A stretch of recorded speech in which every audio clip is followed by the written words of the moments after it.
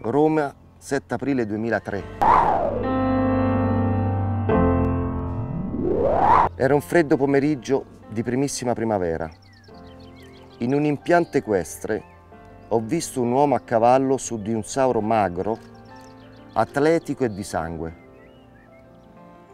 Aveva quest'ultimo il collo spezzato in due da una redine di ritorno impugnata dalle mani esperte di quell'uomo.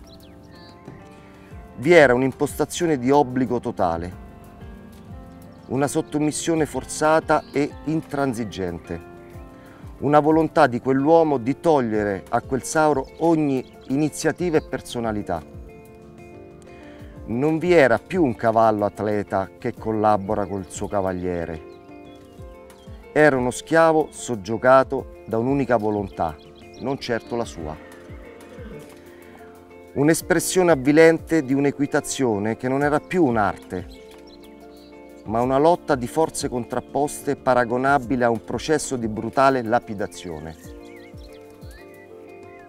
Il cavallo, il cavallo lavorava male, tant'è che non aveva un filo di schiuma tra le labbra.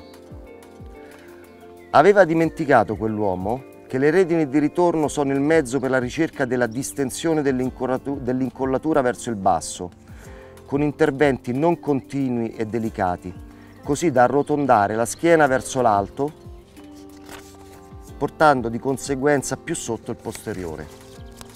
Aveva dimenticato quell'uomo che le redini di ritorno non servono per saltare, Aveva dimenticato quell'uomo che sul salto, anche se lasciate del tutto, le redini di ritorno non permettono all'incollatura di svilupparsi completamente e quindi non consentono alla bocca del cavallo di allontanarsi dalla mano del cavaliere, di portare avanti il garrese arrotondando la schiena e svincolare atleticamente il posteriore dalla sommità dell'ostacolo, in un'unica parola, basculare.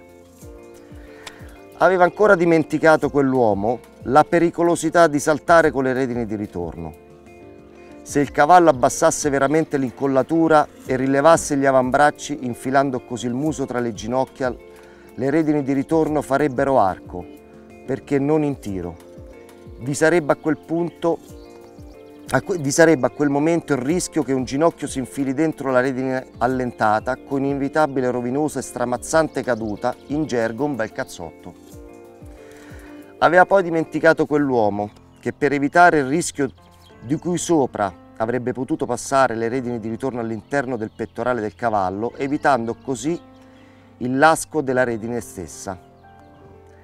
Aveva infine dimenticato quell'uomo che un bravo cavaliere deve sempre dare l'esempio e per saltare è doveroso mettersi il cap a protezione del cranio, dentro al quale dovrebbe esserci il cervello indispensabile per ragionare. Tutto questo ho visto in quel freddo pomeriggio primaverile e sono stato pervaso da tanta tristezza e da tanta amarezza. Un abbraccio Adriano. L'avete letta con attenzione? Questa è una grande lezione di vita di un maestro che ha voluto riprendere un suo allievo, ok? Che stava sbagliando. Quell'allievo ero io ok? Questa lettera è indirizzata a me.